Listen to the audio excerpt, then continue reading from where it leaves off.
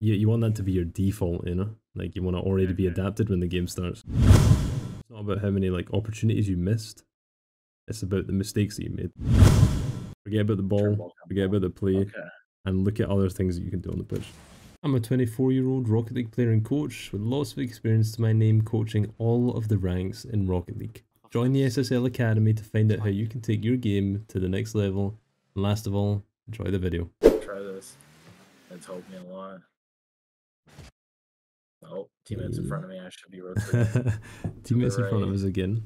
But I wouldn't, uh, you know, you don't want to immediately rotate out. This is good, but we want to okay.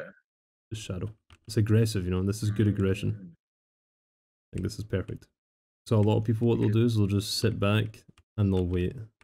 Like this is the bad play. This is the bad defensive play, and then the bad offensive play is when you commit. Right. So those these, those are two bad plays.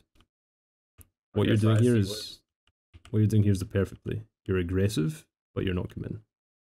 It's like a threat, right? As long you just want to be an offensive threat. All about being a threat. It is. It Rocket League. is. I've seen players in champ that don't even do that as often as GC. I don't. It's weird. I don't know. Maybe Yeah. they think I'm capable of more than I am, and so they're respecting as opposed to in champ. They're like, ah, he's probably shit. Yeah, just stop. Yeah, uh, it definitely could be respect for sure. Yeah. Mhm. But it's kind of like this should be your default, you know?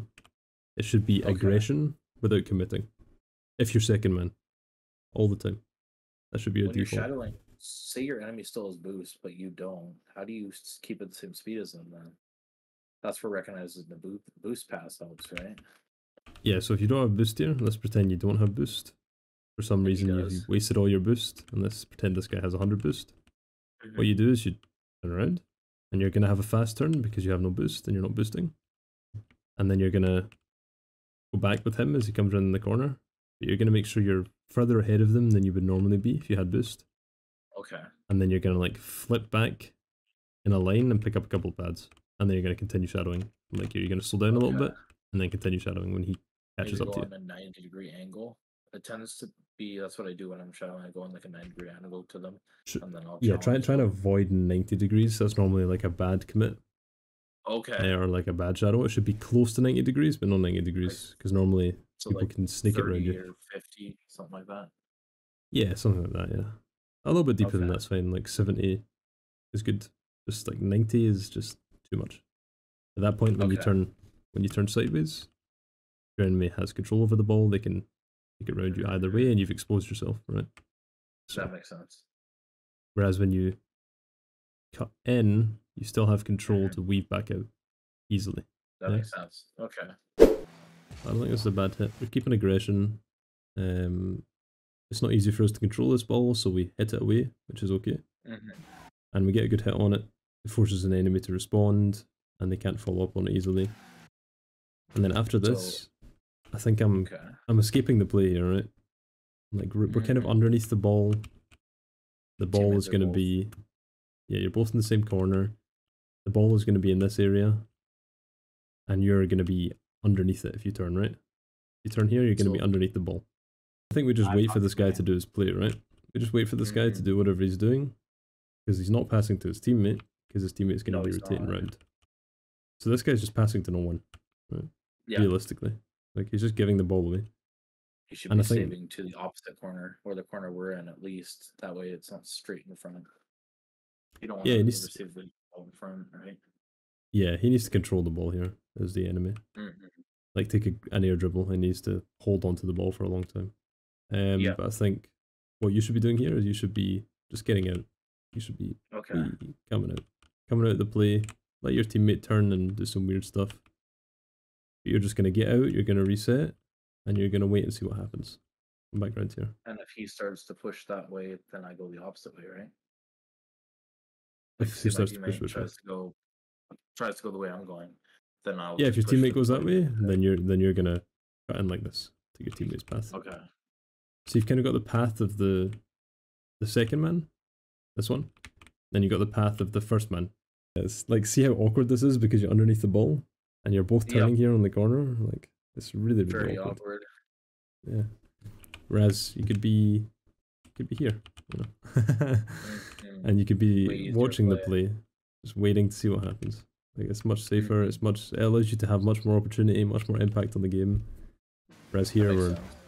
we almost bump our teammate. Like it's Yeah, he fine, jumped right over us. That's perfect by him actually. yeah. And then we get a passing play, which is good. Yup. But this passing play still happens. Like, see how you're already in this position now? Yeah. This is the position Still you should have been in. that you were saying. Yeah, this is a position you should have been in before. Like, already. Ah. Yeah? You just got there in a really bad way. I feel like you're ending up in the right place a lot of the time, but you're not doing it the right way. Okay. So like- okay. so like when you- not horrible, but it's not great. Yeah, like the the journey is bad for you, but the end goal seems to be correct. Okay.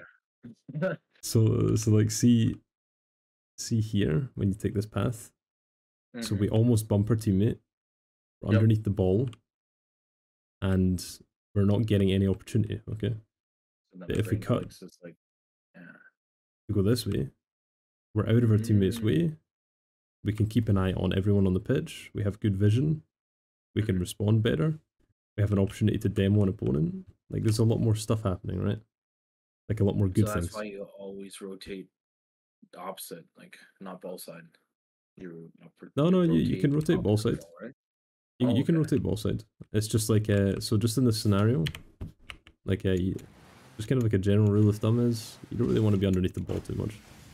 Okay. And if you see both you and your teammate are on the same corner or on the same like little area on the pitch, one of you should probably rotate out and get a little bit more space.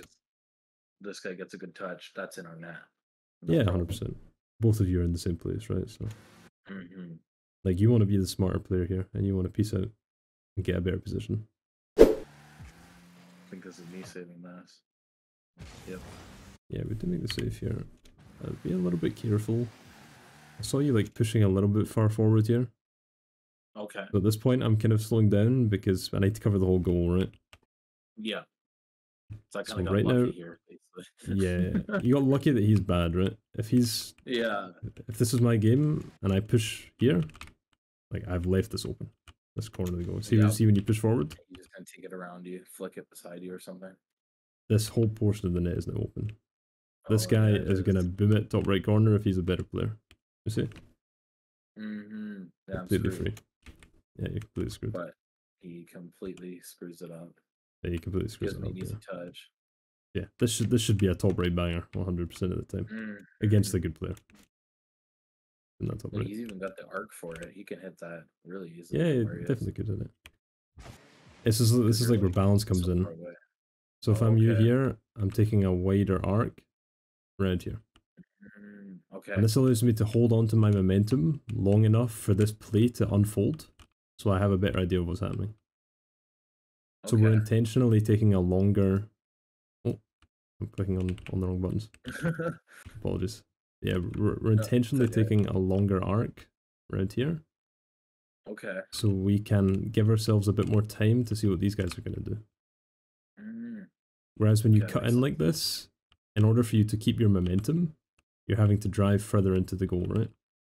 hmm So you don't lose That's speed. true.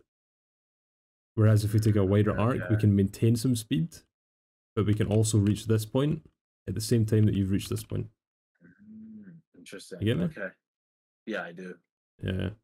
So you want to keep your speed so you can defend this ball if he shoots here in the corner. Mm, Okay. You don't want to be slow. Yeah. You don't want to be slow. Yeah, you don't want to stop here. It's like I'm telling you to be here so you can cover the whole net. But in reality, if you stop right here, you're going to get scored on Mhm. here. Yeah. And the only way to fix this is by this wide arc, this wide rotation. Keep your momentum, end up here, and then you're covering everything. Nice flick again. Thank you. Nice pressure. Okay, I'm looking for a little bit of a, a disruption for me here. So Okay. see once we're out of the play, so we've done a good play, okay? We've like Yeah. applied pressure. It's now our teammate's turn.